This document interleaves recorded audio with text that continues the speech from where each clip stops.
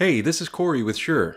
In this video tutorial, I'm going to demonstrate importing RF spectrum scan files generated by Shure and third-party scanning devices.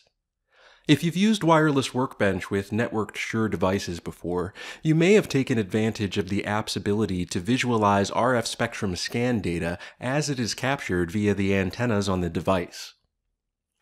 The benefit of having scans in Wireless Workbench is that they provide some of the most reliable data about your performance area, enabling more accurate frequency calculations. If you're not connected to your Shure systems while you're coordinating, or if you're using a third-party scanning device, you can still import scan files in any of the supported file formats. In the Frequency Coordination tab, locate the Scan Data table and select Import from File. Selecting any generation of Shure's native SDB file extensions or any of the currently supported third-party scan file formats will import the file automatically. You can also import multiple files to save time.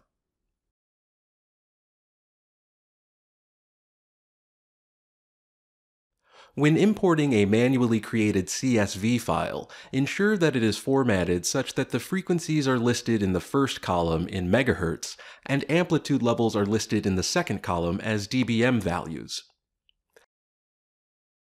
Similarly, for a TXT file, ensure that frequencies are listed first followed by the amplitude, with each frequency amplitude pair on a new line.